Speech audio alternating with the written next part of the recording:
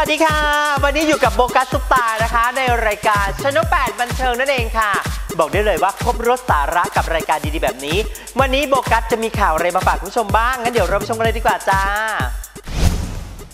สนับสนุนโดยแป้งฝุ่นโปร่งแสงบองโค คุมมันหน้าเรียบเนียนตลอดทั้งวัน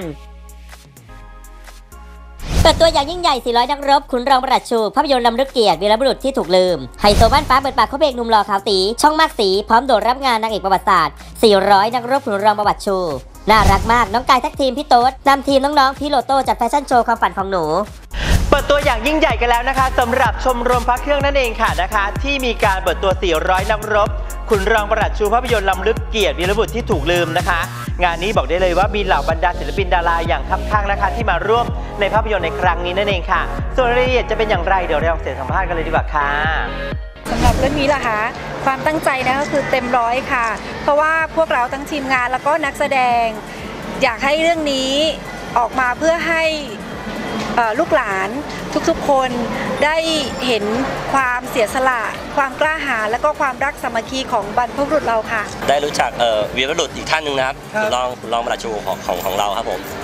ครับได้สอดแทรกศิลปะหนึ่งในเรื่องของเพลงดาบ ผมเป็นคนกำหนดเพลงดาบขึ้นมา 10 เพลงดาบนะฮะสิเพลงดาบให้ทางนาฏศิลป์ไปกำหนดท่าขึ้นมา แต่ว่าถ้าใครไม่ไปดูหนังเรื่องนี้นะครับ ผมเชื่อเหลือเกินว่าเสียใจแน่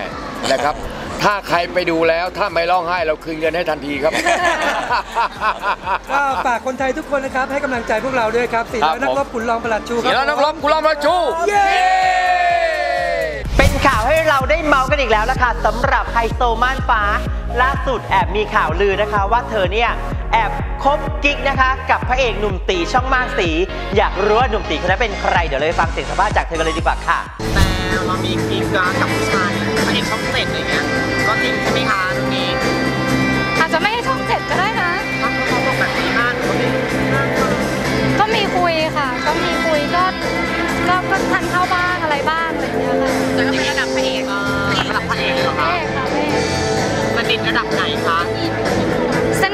ไหนหรอคะ จริง ๆ สนิทไหมก็สนิท แต่ว่าถามว่า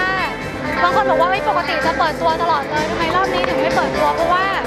เคยเปิดตัวแล้ว แล้วมันก็มันเฟลมันมันไม่ค่อยดีอะไรอย่างเงี้ยเปิดก็เราก็เลิกเปิดแล้วก็เลิกเดี๋ยวคนจะหาว่าทำไมใช้พระเอกเปลืองจังเลยอะไรอย่างเงี้ยแต่จริงๆไม่ใช่นะ จริง ๆก็แบบ อยากให้ไปเรื่อยๆ มากกว่าค่ะค่อยๆดูวันนี้ด้วยหรือเปล่า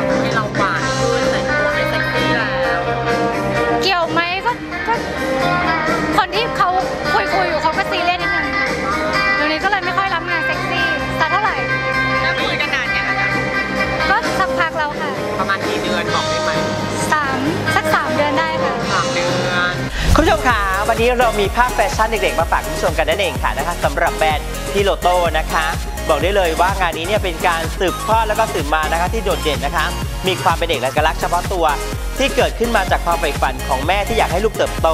เป็นคนดีและมีหน้าที่การงานที่ดีในอนาคต จึงได้ออกแบบชุดนักบินให้ลูกใส่นะคะ จากนั้นก็เริ่มมีน้องๆหลายๆคน ที่บอกกับเราว่าโตขึ้นอยากทำงานอะไรในคอลเลกชันนี้นะคะ ทางแบรนด์จึงได้ผลิตชุดที่ ช่วยสานฝันของน้องๆนะคะ ให้เป็นจริงขึ้นมานะคะ ภายในงานนี้กับแบรนด์พี่โลโต้นะคะ ก็จัดแฟชั่นโชว์ขึ้นมาตามความฝันของหนูน้อยนะคะ ภาพบรรยากาศจะเป็นอย่างไรกันเดี๋ยวเราไปชมกันเลยดีกว่าค่ะ